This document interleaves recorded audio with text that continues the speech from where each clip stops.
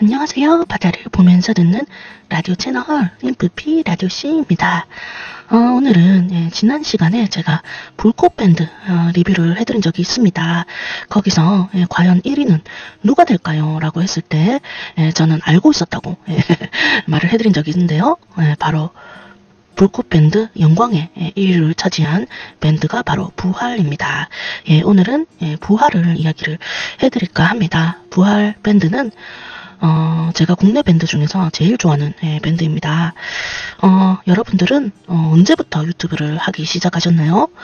예, 저는 바로 부활의 리더 김태원 씨가 예, 유튜브를 한다는 소식을 듣고 예, 유튜브를 가입을 해가지고 예, 활동을 했습니다. 보니까 2020년에 예, 만드셨더라고요. 예, 저도 그때쯤부터 예, 유튜브에 예, 관심을 가지고 예, 보게 되었는데요. 어, 김태현 씨의 예, 유튜브 채널 김태현 클래스가 예, 있습니다. 예, 굉장히 제가 초창기 때 어, 이분의 영상을 많이 계속 예, 계속 계속 봤었죠. 예. 어, 그만큼 예, 김태현 씨를 예, 굉장히 좋아합니다. 보통 예, 밴드 하면 보컬을 어, 좋아하거든요. 밴드의 꽃은 아무래도 보컬이니까요. 그렇지만 예, 저는 어, 김태현 씨를 예, 좋아했습니다.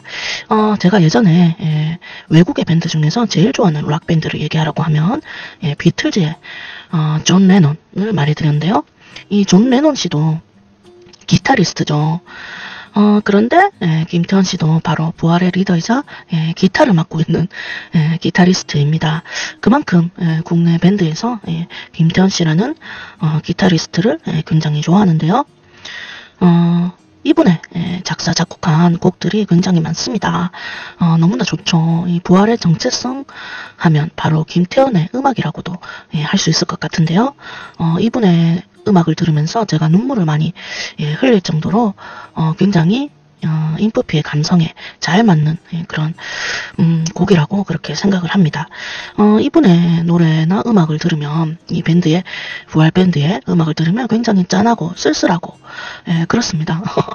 예, 그런데 예외적으로 예, 박영규 씨와 활동했었던 그 앨범 불의 발견은 약간 예외적인데요. 어, 특히 박영규 씨가 예, 타이틀곡으로 불렀던 론니 나잇은 예, 그래도 예, 흥겹고 예, 부활의 어떤 감성과는 약간 다른 예, 그런 흥겨운 느낌을 줄 수 있는데 아무래도 이 김태원 씨가 박원규 씨의 어, 잘 살릴 수 있는 예, 그런 음악을 음, 보컬에 맞춰서 예, 만드신 게 아닌가 예, 그렇게 생각할 정도로 예, 굉장히 그 론니 나잇이라는 곡과 박원규 씨가 굉장히 잘 어울렸죠. 그래서 예, 어, 박은규 씨도 예, 굉장히 예, 좋죠. 어, 부활의 역사에 대해서는 제가 설명하지 않겠습니다. 예, 부활은 1985년도에 결성돼서 어, 지금까지 쭉 활동하고 있는 어, 밴드인데요. 올해로 38주년이 되었죠. 그리고 그만큼 아름다운 역사가 있는 그런 팀입니다. 굉장히 보컬이 많이 바뀌었고요. 어, 그런 역사에 대해서는 어, 검색을 하면 예, 다 나오니까요. 그리고 김태현 씨 역시도 많은 예, 아름다운 예, 과거를 예, 가지고 있죠. 어, 부활의 14집 앨범이 곧 나올 예정이라고 합니다. 그리고 김태현 씨의 솔로 앨범도 예, 곧 발매가 될 예정이라고 예, 그렇게 알려져 있는데요. 어, 지금은 예, 부활의 현재의 어, 구성은 부활 리더 김태현 씨와 그리고 보컬 박광규, 그리고 드럼 최재민, 베이스의 예, 최우재 님이 예, 이렇게 구성이 되어 있습니다.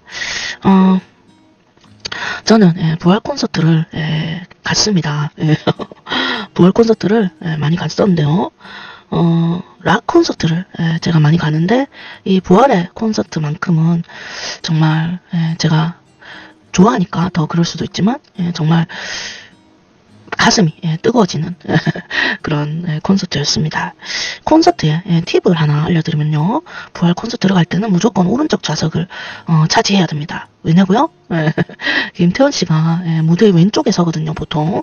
그러니까 이제 김태원 씨를 보려면 오른쪽을 예, 무조건 사수를 해야 됩니다. 저는 철저하게 김태원 씨 팬으로서 이렇게 말을 해드리고요. 보컬을 좋아하시면 중앙으로 잡으시면 됩니다. 아무튼 김태원 씨를 콘서트에 가면 굉장히 크게 볼 수 있습니다. 그리고 이분이 솔로 기타 솔로도 하거든요. 그 독주가 있습니다. 그때 예, 정말 크고 멋지게 멋있는 예, 그런 김태현 씨의 모습을 볼 수가 있거든요. 그래서 콘서트를 갔다 오면 예, 김태현 씨의 팬이 예, 되실 수가 있습니다. 정말 아, 저는 예, 그랬답니다. 어, 그리고 어, 보통 방송에서 보면 이제 밴드들은 예, 보컬을 크게 많이 잡아주죠. 그런데 예, 콘서트에 가면 예, 김태현 씨를 예, 많이 잡아주기 때문에 그래서 콘서트를 가서 예, 김태현 씨를 예, 보실 수가 있습니다. 아, 그리고 예, 계속 예, 잘 됐으면 하는 예, 그런 마음이 있고요. 예, 앞으로도 40주년, 50주년까지 어, 볼 수 있었으면 좋겠다. 예, 그렇게 생각을 합니다.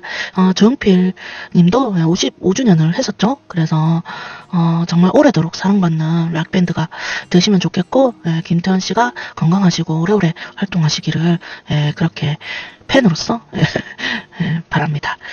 음, 영상 더보기란에 예, 최근에 예, 콘서트의 어, 그 장면을 예, 하나 짧게 제가 덧붙여 놓겠습니다.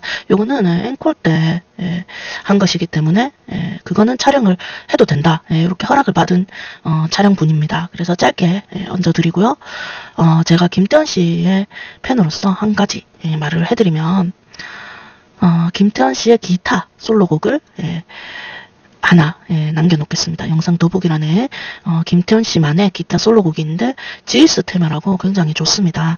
이것을 예, 콘서트에도 들을 수 있지만 어, 유튜브에도 있으니까 예, 요거 링크를 달아놓겠습니다. 한번 들어가셔서 예, 김태현 씨 얼굴과 김태현 씨의 예, 솔로 기타 솔로를 꼭 한번 예, 들어보시길 어, 오늘은 예, 이렇게 마무리를 하겠습니다. 정말 부활을 사랑하는 밴드로서 예, 오래오래 부활을 만날 수 있었으면 예, 좋겠습니다.